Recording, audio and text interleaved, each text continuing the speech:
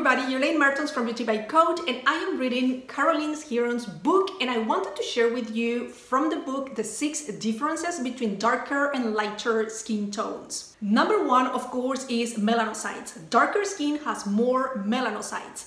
That's what gives you your darker skin tone. Number two, the skin barrier of darker skin is more prone to disruption.